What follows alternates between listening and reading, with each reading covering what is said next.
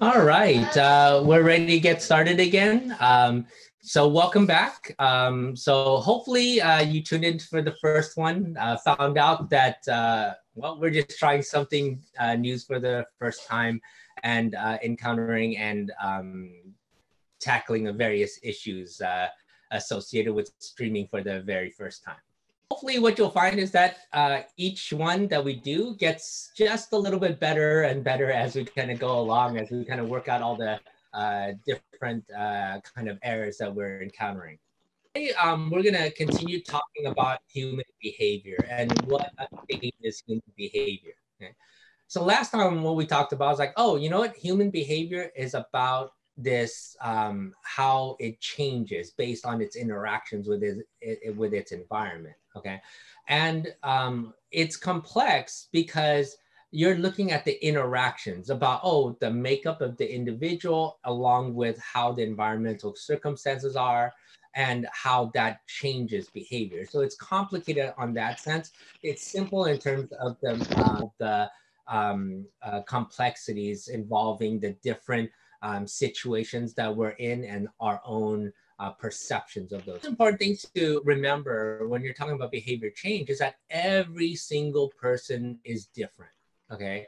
Everyone is a unique combination of different strengths and weaknesses, and that in the same exact environment, two different people will react in very different ways. All of us have very different motivations to do things or not to do things.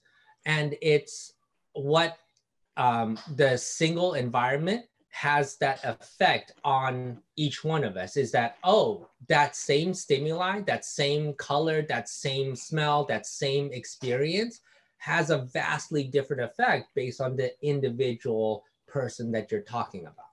Some people are very motivated to do their best. So, what happens for those people? All you need is somebody to say, hey, you did a great job for that person to be very motivated to keep on doing the same thing. On the exact opposite side, you have people that, quite frankly, like, all right, unless I'm in danger of losing my job or in danger of something, then I'm not going to do my best. Okay. So the same environment is going to have very opposite effects depending on the person that you're talking about. One uh, error that most people make when they're talking and um, looking at changing uh, people's behaviors is that we look only at what people tell us and not actually at their actual behaviors, like how they actually do things. Okay. Because when you're looking at it in terms of behavior change, people use talk to cover up a lot of things. Whereas when you take a look at someone's behaviors, they speak a lot more to the motivation behind the things that they do. So you can much more accurately predict a person's behavior and what they're likely to do in any circumstance by looking at their past behaviors. Oh, what did they do previously in exact similar situations? And not look at what people tell you. When you if you just look at and pay attention to what people tell you you're going to be completely misguided in terms of predicting what they're likely to do. The thing is is that everybody engages in um, things like they do things based on their beliefs right? Based on their perceptions and it's rare that we actually do things based on the actual reality of the situation. So that's the first thing that we have to understand.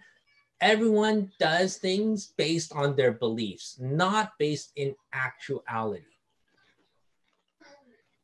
We as people are very good about finding evidence that supports our opinion, that supports our perception.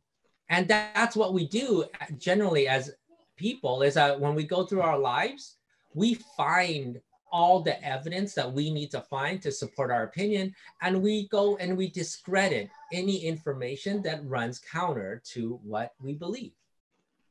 So if you're optimistic and you have a good uh, world uh, view, then you will always find examples to support that worldview. If you're pessimistic, you can always find evidence that suggests that the world is not a very good place or that um, your situation is going to get worse. How do these beliefs kind of affect our behaviors then? You know, like, oh, we talked about like, oh, how we perceive the world uh, affects the way that we interact with the world. Well, how does that actually happen? Right? Well, let's say that I don't think I'm a very good student. I think I, am actually really bad at taking tests. I think I really do horrible on taking tests. And so, like, I have this belief about myself. And so, I have a big test coming up. And like, I already know I'm not going to do well on that test. Like, oh, so then what happens? Like, oh, when we have opportunities to not study for it, we're going to take those opportunities. So, like, oh, you know what? I'm not going to do well on this test anyway. So, okay, I'll go out with my friends and we'll go um, hang out or we'll go do something else instead of studying. Oh, I'll uh, like, we find every reason for us because we're not going to do well anyways, not to do that thing. So, when I go and do that test and I don't do well, then what is it? Like, aha! I, you know what? It's a good thing I went out with my friends because I didn't do well on the test. But I knew then I would have just wasted my time studying for a test. I was going to fail anyways. So we, in that way, we drive our own beliefs. In the same way, when we look for information, when we're looking for information that confirms our beliefs, you know, if I believe a certain something, I'm going to go to websites that generally support my belief. I'm going to look into sources that support my opinion. And I will not visit websites that contradict my opinion. You know, that's how most people go. And so then we find ourselves surrounded by more and more supportive evidence, and we minimize or ignore all the other websites that might contradict the things that we believe. Now, when it comes to um, looking at, well, why do people do certain behaviors, right? Like, well, why do we engage in specific behaviors? What a tendency we have to do, we have is when we look at ourselves, we can provide a ton of different rationale for why we failed to do something or why we did something, you know, and that um, a lot of that is that we understand all the circumstances around us. Okay when we look at other people and why they do certain behaviors, then we're ascribing personality traits to that other person. So we don't look at circumstances, we don't look at all the different uh, facets to what happened with that person that resulted in their behaviors. We ascribe personal characteristics to that individual.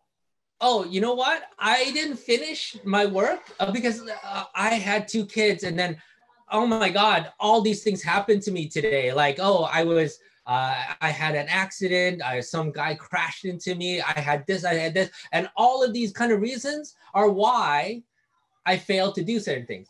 However, Dan, Dan over there, well, he's just lazy. When we talk about um, how that perception runs, perception changes based on a, a whole variety of situ- uh, situations, right? So um, when we talk about failure specifically, like failure is really defined by the circumstance. And when we take a look at other people, and we're like, well, why don't they do this or why don't they do that? We don't take into consideration the circumstances surrounding everything. Whereas for us, we take in every consideration about something. Okay, so oh, when we don't live up to stuff, when we're not able to do stuff, for us, we have a litany, a ton of different reasons for why why I did why wasn't I able to do something, or why did I even do something.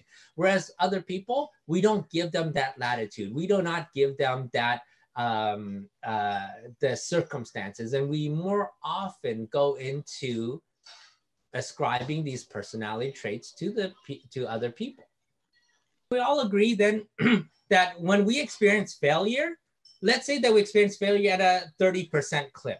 All right, like, oh, three out of seven times we fail at something. Can we all agree, oh, that's failure? Okay. However, if you're a baseball player, failing seven out of 10 times means you're a Hall of Famer. Okay. If you are making contact, hitting the ball at three out of uh, 10 times, you're a Hall of Fame player. Okay. So that failure that we kind of like, oh, okay, this is the standard for failure. It's based on perception. It's based on not the event in and of itself, but the circumstances of the event. Longest time, um, there was uh, a belief that someone could not pass a four minute mile, meaning like, oh, when you ran a mile, you couldn't do it under four minutes, right? And that was thought to be impossible to do. Right? The one time that somebody broke that barrier, that whole that entire rest of the year, everybody started to break that barrier. Okay. That belief that something was impossible was able to hold people back until the one person showed them it was possible to do. But then after that, then it got broken consistently right after. All of this have to do with behavior and behavior change. Well, a couple things here is that failure is what we make it to be. Okay, failure has no meaning in and of itself. It depends on the person looking at that. Okay, and on when you're looking at oh changing people's behaviors, you have to believe absolutely that there's nothing that is impossible. Because if you believe that it's unlikely, it nearly impossible to do, you're not going to do everything in your power to change that behavior because well that's just the way they are. Oh if i put in this effort well what's going to happen? Uh, it's going to fail and i'm, I'm going to waste all my time okay?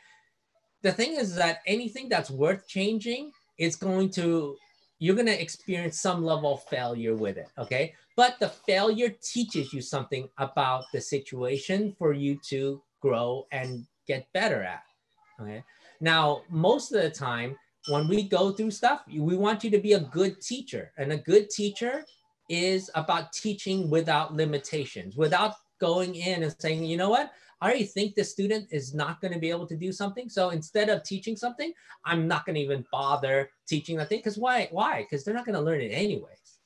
For us to be successful, then we have to be very, very good about accessing somebody's motivation to do stuff and which means that we have to look at how they're perceiving things.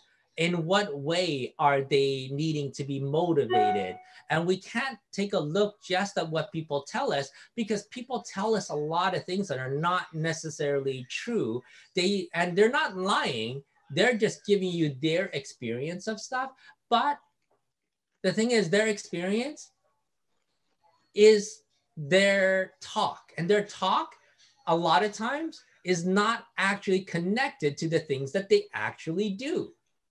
Based on all the things that I've said so far, then it would be like, well, then it becomes completely uh, impossible to predict what people do, you know, because if everybody's individual and everybody has their own strengths and weaknesses, and like, well, how can we possibly narrow it down? Well, the thing is, is that people are predictable based on their patterns of behavior. Okay, we dress the way that we do. We um, talk the way that we do. We interact with the world in the way that we do. Okay, based on patterns. Okay, and what we can deduce from looking at patterns of these kind of behaviors is a rough idea of what you're likely to do in the future based on what you've done in the past. The best poker players in the world, they play each other. They don't play the cards, right? The best poker players are looking at specific behaviors that you're doing that would give them some insight into what cards you're holding. All right. And so what they're not looking at is the things that you're talking about. Maybe they're looking at, oh, when they talk about this subject area or their rate of speech gets this level, it tells them, oh, they probably have a good hand versus, oh, they talk in this way, as opposed to the things that you're telling them. All that con people for a living that try to swindle money, okay? They don't go into a room and like, oh, I'm just gonna randomly select people to con. What they're doing is they're going into a room and they're looking at body language, they're looking at dress, they're looking at all of these different factors. And all of those different factors speak to, oh, the likelihood of you believing something or not believing something. And they're choosing the biggest sucker in the room based on the body language and everything else that we do. The thing is, is that when we take a look at someone's behaviors and we take a look at what people are actually doing, then we can be reasonably accurate in our predictions of what they're likely to do next or eh, under specific circumstances.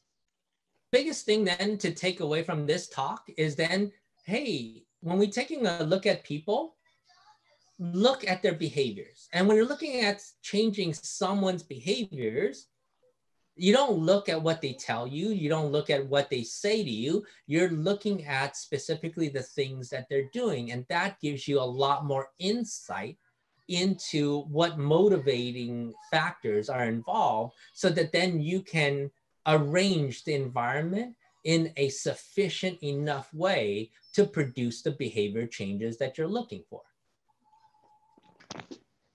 All right, uh, I think uh, it's uh, time for us to wrap up uh, our, uh, our stream here. Uh, so I really, really appreciate everyone taking time out of the day to watch us. Um, by all means, if there's things that we can do better, like I said, we're here to help as many people as possible. And, um, you know, this is a new medium for us. So give us a little bit of latitude as we kind of grow into this medium and learn how to uh, best facilitate it. Um, and uh, if you like this, please um, subscribe. Uh, if you like this podcast, please hit like. Uh, and we would appreciate any feedback that you have to give.